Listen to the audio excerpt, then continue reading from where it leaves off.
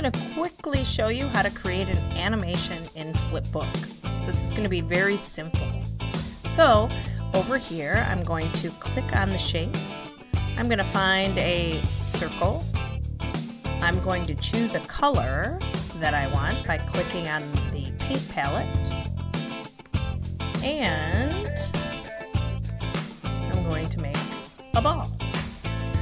What I'm going to do to make the animation work is I go to the next page and I copy the page. So when I open this page, it's going to be exactly like the one before.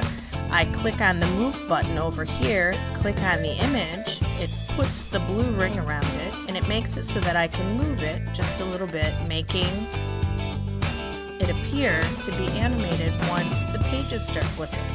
So I'm going to copy that page again,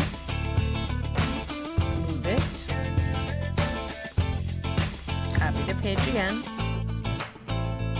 move it, copy the page again, oh, click on it, have to have that blue ring around it, and move it, and copy the page again, and move it. And then down here we push or click on the play button. And let's click fast. And you can see the animation works.